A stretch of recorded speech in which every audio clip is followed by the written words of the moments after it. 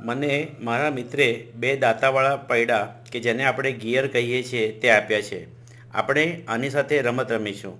અહીં બે ગિયર છે, એક મોટું અને બીજું નાનું, જે એકબીજામાં સંકળાયેલા છે. મોટા ગિયરને બત્રીસ દાંતા છે, જ્યારે નાના ગિયરને સોળ દાંતા છે. તેના ઉપરનો બાણ એકબીજાને સામસામે આવેલો છે. હવે પ્રશ્ન છે કે, નાના ગિયરના કેટલા આટા પછી બંને ગિયરના બાંડ પાછા મળશે.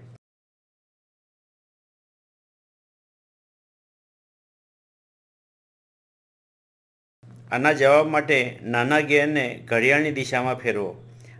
આ એક આંટા પછીની પરિસ્થિતિ છે.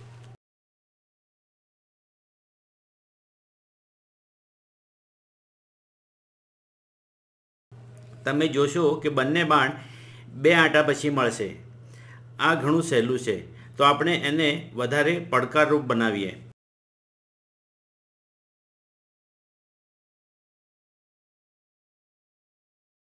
હવે હું સોળ દાંતાવાળા ગિયરને ચોવીસ દાંતાવાળા ગિયર જોડે બદલીશ.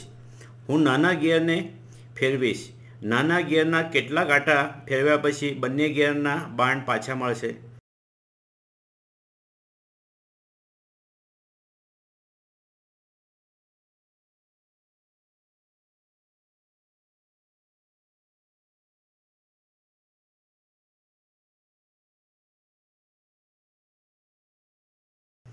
આ એક આંટો, પછી બીજો અને ત્રીજો.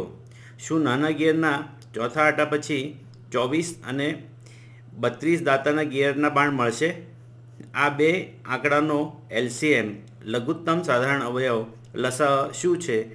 તે નાનામાં નાનો ગુણાંક બંને આંકડાનો છે. ચોવીસ આંકડાના ગુણાંક અડતાલીસ બોતેર છન્નું, એકસો વીસ એમ છે. જ્યારે બત્રીસ આંકડાના ગુણાંક ચોરા ચોસઠ, છન્નું, એકસો અઠ્ઠાવીસ, એકસો સાહીઠ વગેરે. આ આપણે વેન આકૃતિમાં જોઈ શકીએ છીએ. એટલે ચોવીસ અને બત્રીસનો લસા અ છન્નું છે. એટલે નાના ગિયરને ચાર આટા અને મોટા ગિયરના ત્રણ આટા બે બાણ મળવા ફેરવવા પડશે.